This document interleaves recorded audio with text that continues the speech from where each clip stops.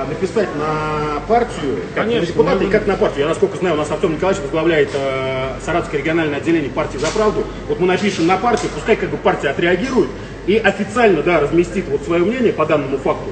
То есть мы это все изложим, тут все, в принципе, вкратце я это изложил. То есть, грубо говоря, есть предприниматели, у которых зарегистрированы в Рейпалате договора, а есть Сами Панков, который посчитал просто, что он может не считаться с этими договорами и признать их недействительными. В суд он не хочет обращаться, и пользуясь силовыми методами, он просто выжимает предпринимателя. Вот вы сейчас слышали, а они пояснили.